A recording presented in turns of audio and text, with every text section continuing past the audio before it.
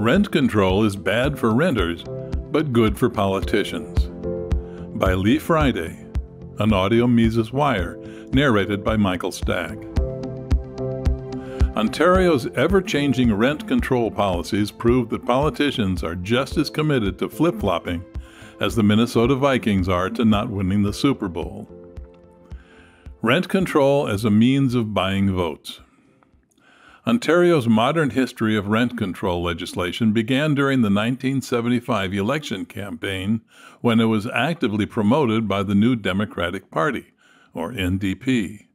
This was the stagflation era, and the NDP conveniently ignored Canadian monetary policy as a major contributing factor to price inflation, which was 7.8% in 1973, 11% in 1974, and 10.7% in 1975, including higher rents, preferring instead to talk about horror stories of individuals and bad landlords who imposed exorbitant rent increases. However, as William Watson wrote in the Financial Post, what protection do renters have against unscrupulous landlords? Other landlords, and lots of them. That is, of course, if other landlords are not dissuaded from entering the market because the government forbids them from charging market prices. Flip flop, the NDP finally conceded this point, sort of, when, in 1992, they tried to encourage the building of more rental units by offering a five year rent control exemption on new units. The exemption later became permanent. Well, temporarily permanent, as we shall see. While acknowledging this basic economic lesson, the NDP nevertheless continued playing politics by removing rent control only on new units, while maintaining it for current tenants in exchange for their votes, despite the economic consequences. As Henry Hazlitt wrote, quote, Builders or owners of pre existing apartment houses finding themselves with restricted profits or perhaps even losses on their old apartments will have little or no capital to put into new construction. In addition, they or those with capital from other sources may fear that the government may at any time find an excuse for imposing rent controls even on the new buildings, and it often does. Sure enough, in 2017, Ontario's Liberal government imposed rent control on the newer buildings. Flip flop, the NDP supported the policy. Not to be outdone by the NDP's multiple flip flops, during the 2018 Ontario election campaign, the Progressive Conservative Parties, or PCPs, soon to be Premier Doug Ford said, when it comes to rent control, we're going to maintain the status quo. Flip flop number one. A few months later, the PCP's majority government deviated from the status quo by exempting new construction from rent control. Flip flop number two.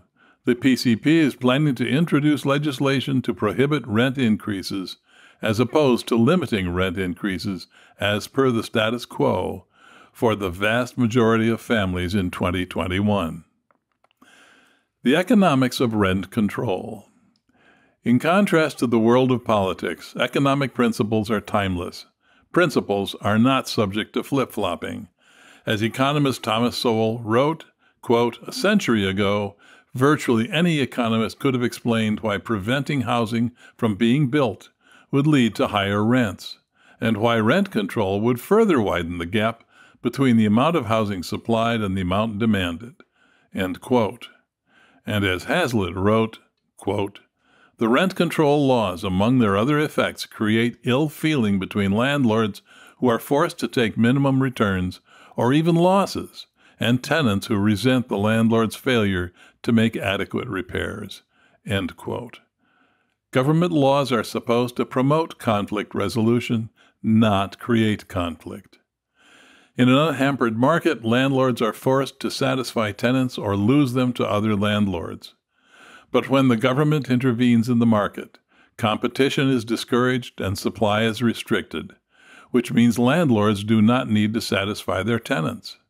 If a tenant moves away from a poorly maintained rental unit, the landlord can quickly fill the vacancy due to A. the shortage of other housing options for tenants, and B the high demand for rent controlled units. How rent control destroys choice in housing. Thus, government intervention arbitrarily restricts the supply of housing, whereas competition, if the market is allowed to function, guarantees a sufficient supply to meet the demand and the best possible price for consumers, the tenants. It is ironic that this basic economic principle is easily observed, falling rents with tenants in control, as a direct result of the government's economically destructive pandemic policies. Entrepreneurs, unlike politicians, have skin in the game. If they do not build the right type of accommodation in the right location, they will not attract tenants, and they will lose money. In contrast, bleeding heart politicians profess genuine concern for tenants, but they always stop short of investing their own money in the construction of rental units at what they consider to be affordable prices. Moreover, they never admit to their own culpability for an insufficient supply of housing or their own role as bad landlords. Government policies are usually the product of politicians' desire to portray themselves as saviors of the people.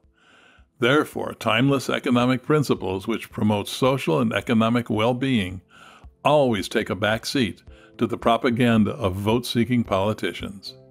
But that's what we get when we allow economic activities to be directed by people with political skills instead of people with business skills. For more content like this, visit Mises.org.